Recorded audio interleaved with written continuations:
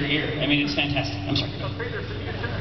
I was just wondering about how the two of you felt about how the fact that in the Universal Fighting System card game, the Tycho card is awesome, I know. but the Gabe card is craptastic.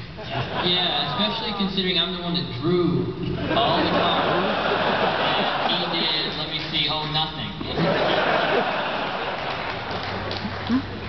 Yeah, it's, it, it, things turned out great for me. I, I, I understand that Tycho takes tournament after tournament. He This just knocks them out with one shot.